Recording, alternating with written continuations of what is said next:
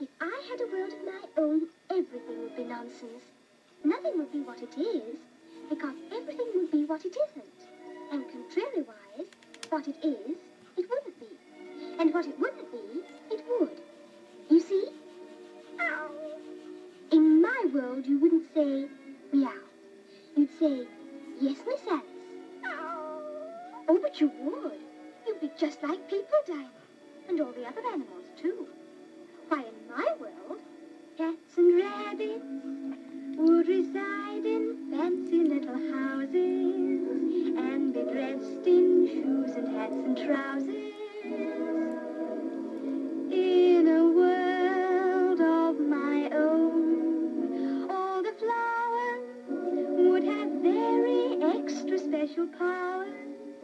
They would sit and talk to me for hours when I'm lonely